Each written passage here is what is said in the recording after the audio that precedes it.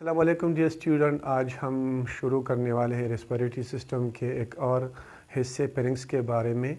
Pharynx जो है, ये एक मस्कुलर ट्यूब होता है जो कि हमारे नेज़ल क्यूटीज़ को और औरल क्विटीज़ को, ये लेरिंग्स और एसोपिगस से क्या करता है, ये मिलाता है। सो फेरिंग्स जो है, ये क्या है? ये pharynx is a muscular tube that connects the oral and nasal cavities to the larynx and oesophagus मतलब फेरिंग्स जो है, ये एक मस्कुलर ट्यूब होता है जो कि हमारे ओरल एंड नेजल कैविटीज़ को ओरल कैविटी को ये कनेक्ट करता है एसोपिगस से और नेज़ल कैविटीज़ को ये कनेक्ट करता है किसी से? लेरिंग्स से। मतलब जब हम एयर इनहेल करते हैं एयर नोज़ के ज़रिए इंटीरियर नोस्टर के ज़रिए जब हम एयर इनहेल करते हैं, देखिए इस डायग्राम में आपको सही समझ में आएगा। जब हम इंटीरियर नोस्टल से एयर इनहेल करते हैं तो वो एयर फिर आती है नेज़ल केविटीज़ में। वो फिर एयर कहाँ आती है? वो आती है नेज़ल केविटीज़ में ओके तो फिर नेज़ल केविटीज़ से क्या होता है कि वो एयर आती है हमारे नेज़ो नेज़ोफेरिंग्स में। तो फेरिंग्स की वो रीजन वो जगह जहाँ पे एयर आती है नेज़ल केविटी से तो उसको हम कहते हैं नेज़ोफेरिंग्स उसको हम क्या कहते हैं?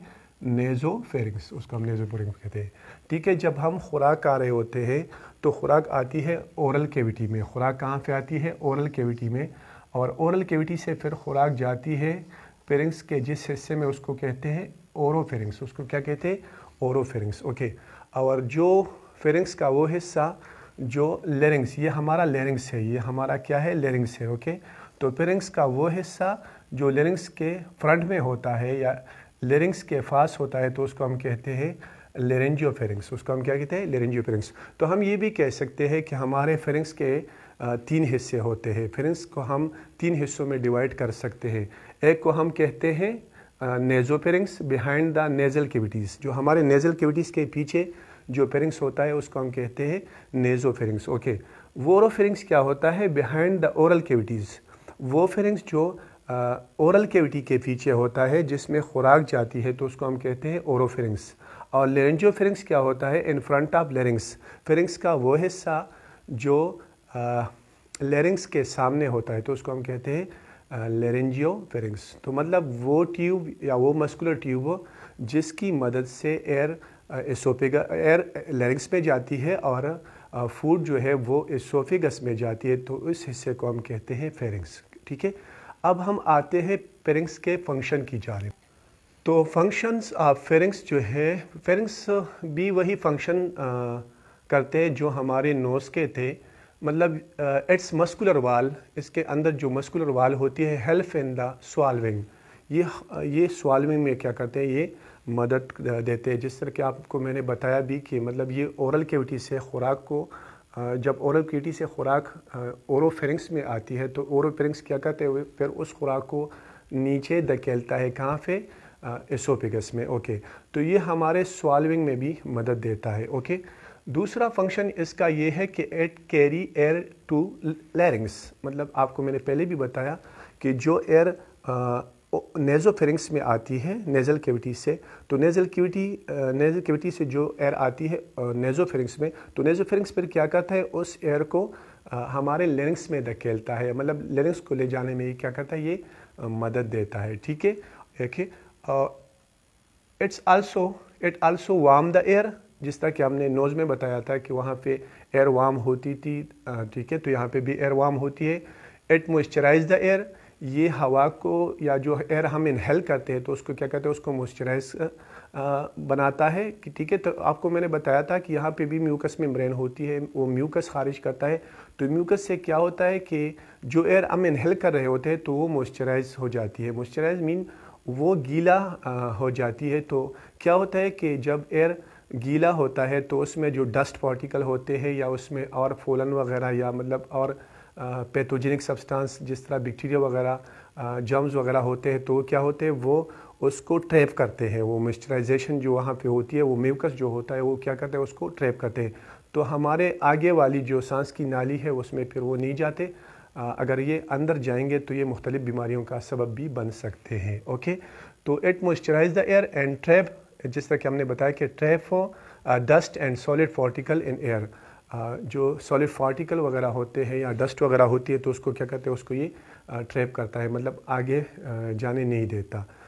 ठीक है तो ये थी हमारी पेरेंट्स ओके पेरेंट्स के बारे में। अब हम पढ़ेंगे एक और टॉपिक जो पेरेंट्स से आगे हम मतलब जो है, पढ़ते हैं रिस्परेटरी सिस्टम के एक और आर्गन लेरिंग्स के बारे में। जैसे कि हमने पहले बताया कि हमारी रिस्परेटरी आर्गन सिस्टम जो है वो दो पार्ट्स पर मुश्तमिल होती है इसको एक को हम कहते हैं अपर रिस्परेटरी ट्रैक और दूसरे को हम कहते हैं लोअर रिस्परेटरी ट्रैक ठीक है? तो अपर रिस्परेटरी ट्रैक में हमने कहा कि उसमें हमारी नोज़ और फेरिंग्स शामिल होती है, जबकि लोअर रिस्परेटरी ट्रैक में लेरिंग्स और उसके से जो नीचे आर्गन होते हैं, वो शामिल होते हैं।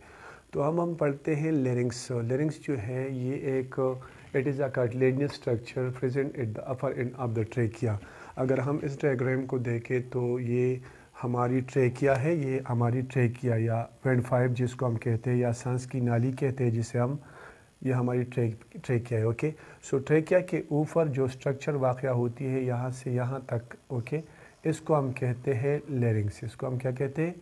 लेरिंग्स कहते हैं, ठीक है?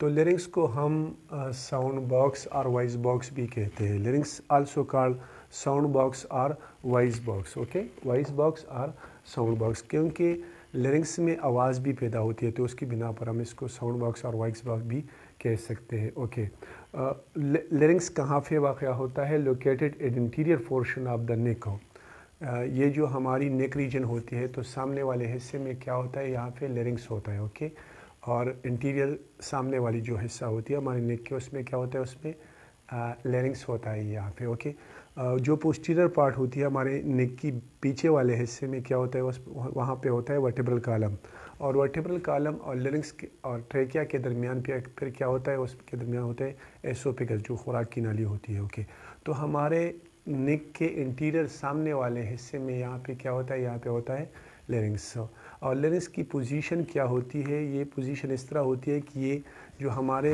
गर्दन के साथ वर्टिब्रे होते हैं जिसको हम सर्वाइकल बी कहते हैं ओके तो वो, इसकी पोजीशन क्या होती है? ये सी थ्री से शुरू होता है और सी सिक्स पे ख़त्म होता है। मतलब तीसरे सर्वाइकल वर्टिब्रे से शुरू होकर छठे सर्वाइकल वर्टिब्रल पर ये क्या होता है? ये ख़त्म होता है। ये इसकी पोजीशन है। अगर हम लेरिंग्स के स्ट्रक्चर को देखें तो ये एक कार्टिलेज स्ट्रक्चर है। और कार्टिलेज का फ़ायदा क्या होता है? कार्टिलेज का फ़ायदा ये होता है कि ये आसानी के साथ कोलेप्स नहीं होता। अगर हम इसको थोड़ा सा दबाएँ ना दबा भी दें तो ये कोलेप्स नहीं होता। मतलब ये बंद नहीं होता, ये अब्स्ट्रक्ट नहीं होता। ठीक है? तो कटलेज इसको क्या करता है? इसको ऑलवेज ओपन रखता है। कटलेज की वजह से ये क्या होता है? ये ऑलवेज ओपन होता है, ठीक है? और लेरिंग्स जो कार्टिलेज हमारे लेंस को बनाते हैं तो उसके मुख्तलिफ़ नाम होते हैं उन कार्टिलेज के। मतलब ऊपर वाला कार्टिलेज जो होता है, अगर हम इस डायग्राम को देखें तो हमें अच्छी तरह समझ में आएगा। ये हमारी लेरिंग्स है। ये हमारी क्या है? लेरिंग्स है ओके अगर हम इसको ज़रा और भी बड़ा करें मैग्नीफाई करें यहाँ पे देखें तो ये हमारी जो लेरिंग्स होती है ना, ये कार्टिलेज से बना है। किन चीज़ों से बना है? कार्टिलेज से बना है। इसलिए हम कहते हैं कि एक कार्टिलेज स्ट्रक्चर है। ओके तो इसका ये जो ऊपर वाला कार्टिलेज होता है, उसको हम कहते हैं थायराइड कार्टिलेज क्या कहते हैं? थायराइड ये वाला। इसको हम एडम्स एपल भी कहते हैं। एडम्स एपल ओके ये थायराइड कार्टिलेज है। और यहाँ पे एक ओपनिंग होती है, यहाँ पे इस कार्टिलेज में एक ओपनिंग होती है, जिसको हम कहते हैं ग्लाटिस उसको हम क्या कहते हैं? ग्लाटिस ओके इस ओपनिंग को हम कहते हैं ग्लाटिस ओके यहाँ पे एक ओपनिंग होती है इस थायराइड कार्टिलेज में। उसको हम कहते हैं ग्लाटिस ओके और उस ग्लाटिस के ऊपर एक ढक्कन होता है, जिसको हम कहते हैं ईपीग्लॉटिस तो उसका काम क्या होता है? उसका काम ये होता है, जब हम खुराक खा रहे होते हैं ना तो ये इपिग्लाटिस क्या करता है? ये ढक्कन बंद होता है ग्लॉटिस के ऊपर तो खुराक जो है वो नीचे हमारे जो सांस की नाली होती है उसमें नहीं जाती, बल्कि जाती है इसके पीछे जो खुराक की नाली होती है उससे बगस उसमें जाती है। मतलब ये इसको प्रोटेक्ट करता है। ग्लाटिस को इपिग्लाटिस क्या करता है? ये प्रोटेक्ट करता है। और थायराइड काटलेज के नीचे क्या होता है? यहाँ पे एक और काटलेज होता है, जिसको हम कहते हैं क्रिकाइड काटलेज इसको हम क्या कहते हैं?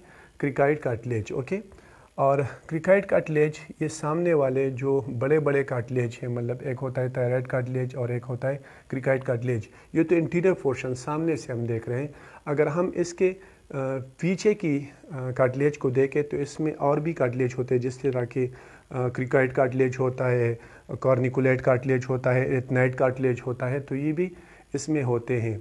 लेकिन जो सामने हमें ये जो एडामेसेफल की शक्ल में दिखाई देता है, ये वाला जो कि मेल में बड़ा होता है फीमेल में थोड़ा स्मॉल होता है तो इस तरह वो दिखाई नहीं देता, जिस तरह मेल में दिखाई देता है। मेल में ये प्रोटीटूट होता है ओके सो ये कार्टिलेजियस स्ट्रक्चर इसको हम कहते हैं थायराइड कार्टिलेज ओके एक दफ़ा फिर दोहराता हूँ मतलब ये ऊपर वाला कार्टिलेज जो है, इसको हम थायराइड कार्टिलेज कहते हैं, नीचे वाले को हम क्या कहते हैं उसको हम कहते हैं क्रिकाइड कार्टिलेज और ये दोनों जो है ना, एक दूसरे से क्रीको थायराइड लिगामेंट्स की मदद से ये दोनों एक दूसरे के साथ क्या होते हैं, ये जुड़े हुए होते हैं, ओके?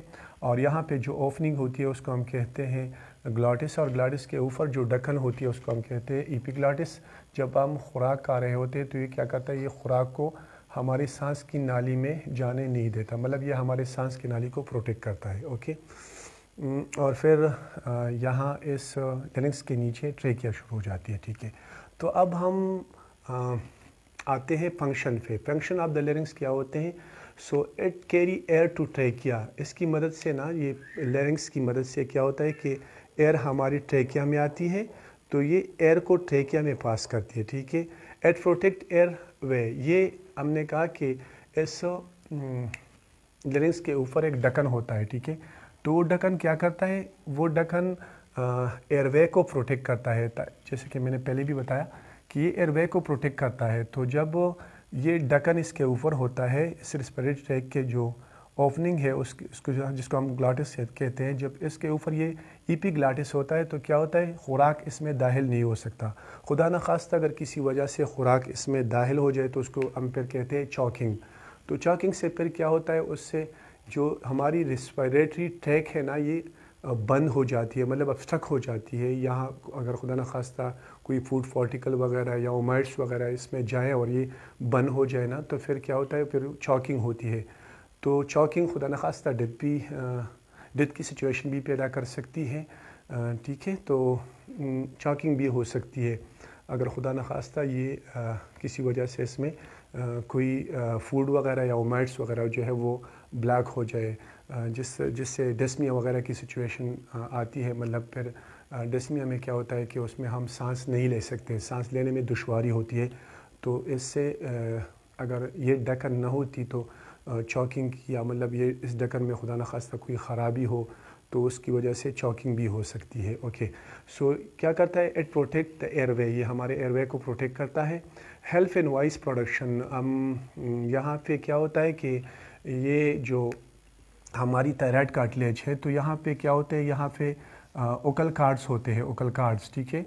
जब हम एयर को एक्सहेल कर रहे होते हैं ना, एयर को एक्सहेल कर रहे होते हैं तो क्या होता है कि वो एयर जो नीचे से आती है, जिसको हम एक्सहेल कर रहे होते हैं तो वो क्या करता है, वो यहाँ पे वाइब्रेशन प्रोड्यूस करता है उस, इस ओकल कार्ड्स में, ठीक है? और वही वाइब्रेशन फिर क्या करता है, वो एक पार्टिकुलर साउंड पैदा करता है, वो पार्टिकुलर क्या करता है, साउंड पैदा करता है तो mean to say that it also help in sound production यहाँ पे आवाज़ भी पैदा होती है, जिसकी वजह से हम इसको वॉइस बॉक्स और साउंड बॉक्स भी कहते हैं ओके और यहाँ पे भी एट मॉइस्चराइज द एयर यहाँ पे भी एयर जो है वो मॉइस्चराइज होती है बिकॉज़ यहाँ पे भी म्यूकस मेम्ब्रेन होता है, वो भी म्यूकस खारिज करता है। सीलिया वगैरह होते हैं जो एयर को फ़िल्टर करते हैं, ठीक है? So it also filter dust bacteria and pollutants वगैरह जो होते हैं, वो सारे यहाँ पे फ़िल्टर होते हैं। क्या होते हैं? फ़िल्टर होते हैं।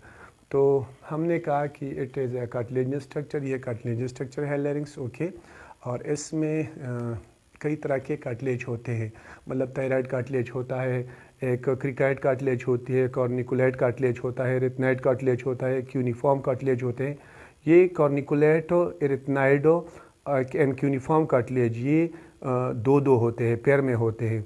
और थायराइड कार्टिलेज और क्रिकाइड कार्टिलेज जो है ना, ये सिंगल होता है। ओवरऑल हम ये कह सकते हैं कि हमारी जो लेरिंग्स है, ये एक कार्टिलेज स्ट्रक्चर है। कार्टिलेज और कार्टिलेज क्या कहता है, ये इसको कोलेप्स होने से क्या कहता है, इसको बचाता है। मतलब ये कोलेप्स नहीं होता। अगर हम इस पर कोई प्रेशर डालें और इसको फिर छोड़े ना तो ये कोलेप्स नहीं होगा। अगर हम सुफाइन पोजीशन में लेट जाए इस तरह ऊपर करके मुँह ऊपर करके लेट जाए इसको हम कहते हैं सुफाइन पोजीशन तो इस पर अगर प्रेशर भी आएगा ना तो ये कोलेप्स नहीं होगा। So this cartilage keep it open so I hope dear students you have learn something from this lecture इंशाल्लाह अगले लेक्चर में मज़ीद रेस्पिरेटरी सिस्टम के ट्रैकिया वगैरह के बारे में uh, इंशाल्लाह फिर मिलेंगे। तब तक के लिए अल्लाह ने के बाद।